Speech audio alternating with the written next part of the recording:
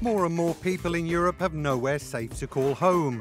Evidence suggests homelessness across the EU as a whole has more than doubled since 2009, with only Denmark and Finland making progress. Its most visible form is rough sleeping, but the profile of Europe's homeless is evolving. In addition to those affected by economic hardship or physical and mental health issues, women escaping domestic violence and young people with no proper access to housing, so called couch surfers, also make up the numbers. The lack of affordable and good quality housing plays a major part in all of this. In 2022, almost one in 10 people in the EU spent more than 40% of their income on accommodation. Despite being enshrined in the European Pillar of Social Rights as a fundamental human right, many people still struggle to put a roof over their heads.